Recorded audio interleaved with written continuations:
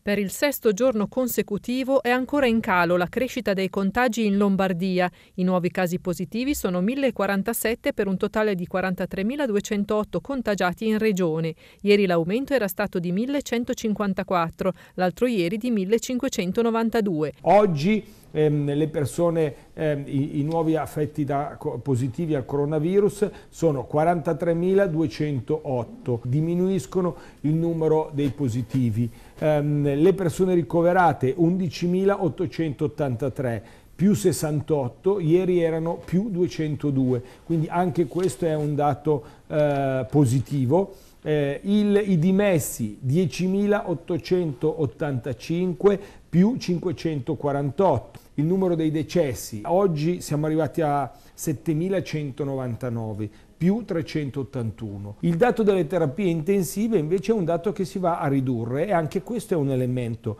significativo. Addirittura oggi c'è quasi un, un, un, pareggio, cioè zero sono le nuove entrate, perché noi abbiamo un dato di meno 6, perché sono in totale 1324 coloro che sono in terapia intensiva Covid, però poi c'è un numero di persone che sono in attesa del tampone e quindi in totale 1470.